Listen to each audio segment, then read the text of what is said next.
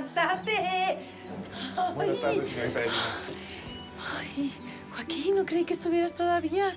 Perdone si le asusté, pero me quedé hasta ahorita arreglando la instalación del gas de la cocina. Y todavía no he comenzado a pintar, pero ya quedó. Muchas gracias. Oye, ¿no ha venido mi sobrina todavía?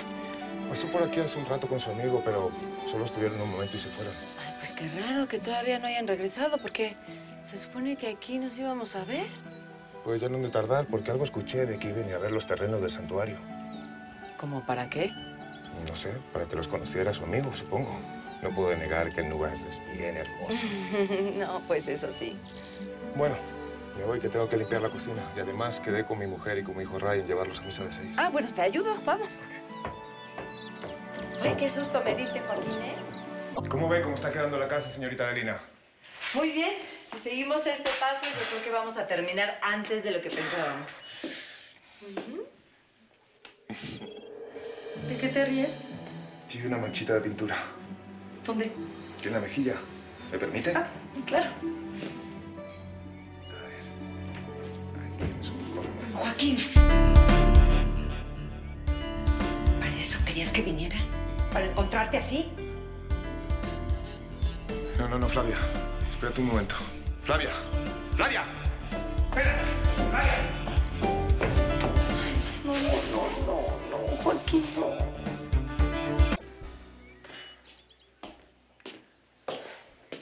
¿Qué pasó? Nada.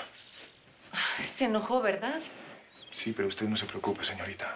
Así es Flavia. Joaquín, ¿cómo no me voy a preocupar? Le digo que así es ella. No quiso hablar.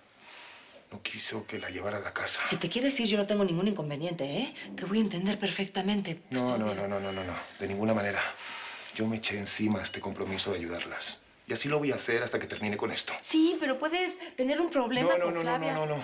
Usted no tiene nada que ver con esto. No se sienta culpable, por favor. Me siento en parte responsable. No, Adelina.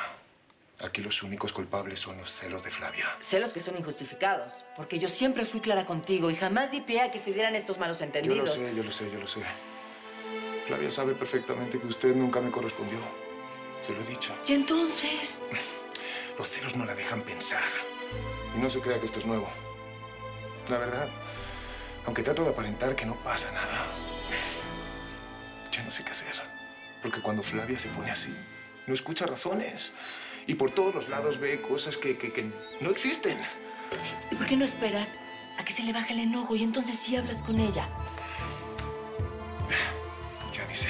Tienes que hacerlo, Joaquín. Ustedes son una familia muy bonita. No dejes que una simple escena de celos eche a perder todo lo que has logrado. Sí, señorita. Eso voy a hacer. Eso espero.